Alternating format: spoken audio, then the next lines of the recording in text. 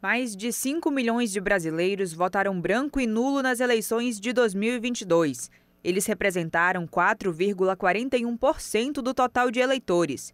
Em comparação a 2018, quando o percentual foi de 8,8%, o número reduziu. Para este cientista político, o cenário é positivo para a democracia. Dos que vão votar, eles preferem se manifestar de alguma forma e não alienar o seu voto. Né? Eu penso que houve uma propaganda muito forte do TSE estimulando o voto e as pessoas resolveram ir votar e sufragar alguém. Acho isso positivo. Apesar do número de votos brancos e nulos terem diminuído, as abstenções não seguiram o mesmo caminho. Mais de 32 milhões de pessoas não foram às urnas exercer o direito ao voto, o que equivale a 20,9% dos brasileiros aptos a votar.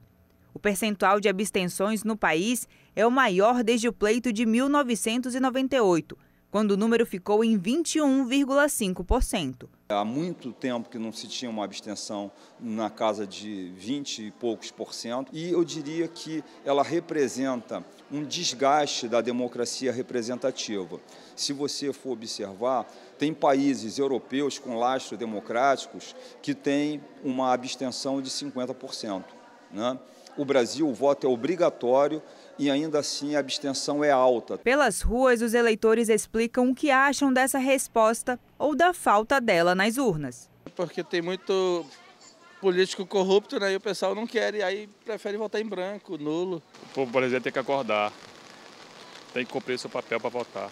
No Amazonas, mais de 524 mil abstenções foram registradas, representando 20,10% do eleitorado amazonense.